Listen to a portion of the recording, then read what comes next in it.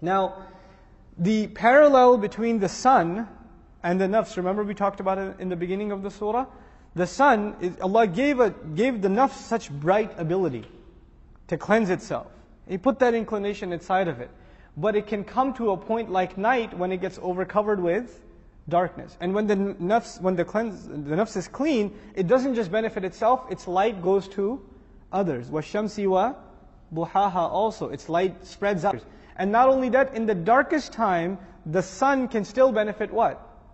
The moon, and the light still comes out. So even in the toughest time, you will benefit. Especially in times of fitna and darkness, you will benefit from a clean nafs because it will be like the moon that brights, that shines bright even in the middle of darkness. That is the parallel that Al-Biqai rahimahullah draws between the beginning oaths and the trials of the nafs. And then he, then we read the next profound statement, وَقَدْ خَابَ مَنْ دَسَّاهَا The Arabs have an expression, مَنْ هَابَ خَابَ Whoever gets afraid is going to miss out and is going to be disappointed. Meaning if you're going to take the initiative, go for it. Don't hold back, because if you do, you're going to be disappointed. Similarly, we find the tafsir of Ibn Abbas radiallahu anhuma, خَسِرَ مَنْ أَضَلَّهَا وَأَغْوَاهَا The one, when he says, when the, when the Quran says, قَدْ خَابَ مَنْ دَسَّاهَا We haven't discussed the word dassaha.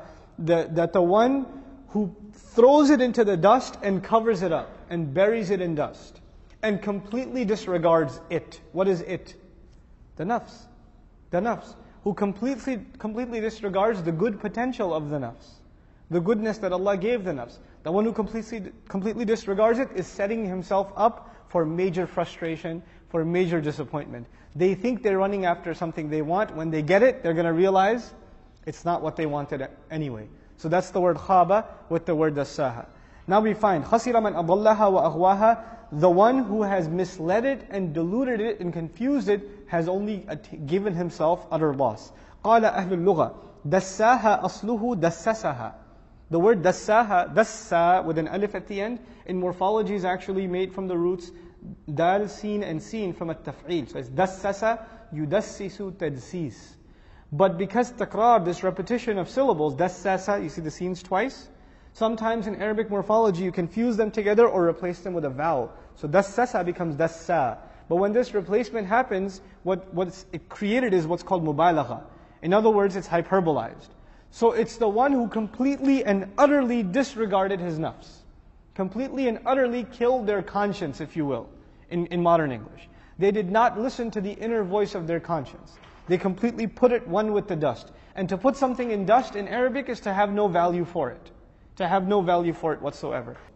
قَدْ أَفْلَحَ مَنْ دَسَّاهَا This is the state of the one who gets that imbalance and the only concern in their nafs is pleasures and greed and wealth just worldly things. And there's no concern of the other world that balances the nafs, like, light, like night and day are balanced, and sun and moon are balanced, that we read in the beginning of this surah. And how the nafs itself was created in balance. It was created in balance because Allah says, وَنَفْسٍ وَمَا sawaha. But now this person has lost that balance altogether. Now that Allah has mentioned this imbalance of the nafs and the one who's humiliated himself, the subject almost immediately switches. And it switches to a nation, not a person, but a nation. What we are learning here is nation. A corrupt nation is made up of what? Corrupt individuals. So when you say this nation has gone bad, what is the first step to fixing that nation? Fixing the individuals. When you talk about the ummah has so many problems, or this nation is, has so many problems, or it's gone so corrupt, then you can overwhelm yourself talking about the larger problems of society. And when somebody says, you know, I think the solution lies with individual change. Change within our own family, change within our own neighborhood. Ah, man, you don't know what you're talking about. Let's talk about the big political picture. Right? So we get so obsessed with big problems that we forget sometimes that the, the, the root of the solution is in the individual, not in the collective. The work of the Messenger ﷺ from a political science point of view is amazing, unprecedented in human history. No one accomplished in the time of in that time life in that time a kind of social, political, economic change that the messenger caused. But you know what the real change he brought is? Is not politics, it's not sociology, it's not economics. It's the change he brought to individuals. And the in Surah Al-Fath, when Allah guaranteed the victory of the Messenger sallallahu alaihi wasallam, at the end he didn't talk about the huge monuments or the expanse of the Muslim civilization. You know what he talked about as the great accomplishment of the Prophet sallallahu alaihi wasallam? The Sahaba.